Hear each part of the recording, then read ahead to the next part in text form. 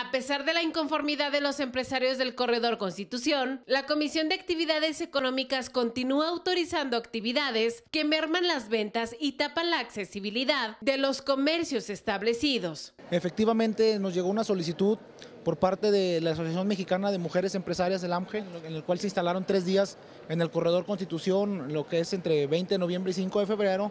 Fue una solicitud que, que nos llegó, eh, esa solicitud... Eh, pues estuvo parada alrededor de 15 días, eh, eh, después entró a comisión, ya teníamos un acuerdo, desafortunadamente o afortunadamente eh, se aprobó por la comisión, fue un evento exclusivamente de tres días y esto porque esta solicitud ya tenía bastantes días parada antes de ingresar a lo que es la, comisión, con, la referencia de que años anteriores no es la primera vez que se otorgaba este permiso y como todos sabemos, pues quienes, quienes, quienes solicitaron esta, este espacio pues son personas que, solamente lo piden por, por pequeños espacios de dos a tres días y siempre cumplen los requisitos y al momento de que se termina o expide este permiso, luego hacen retiro de sus mercancías. El regidor Fernando Rocha mencionó que la solicitud fue aprobada al registrar el respeto al permiso solicitado, instalándose y retirando su estructura en tiempo y forma. Sin embargo, las peticiones de los empresarios del corredor Constitución siguen sin ser atendidas. En ese sentido no tenemos problema en otorgar este tipo de permisos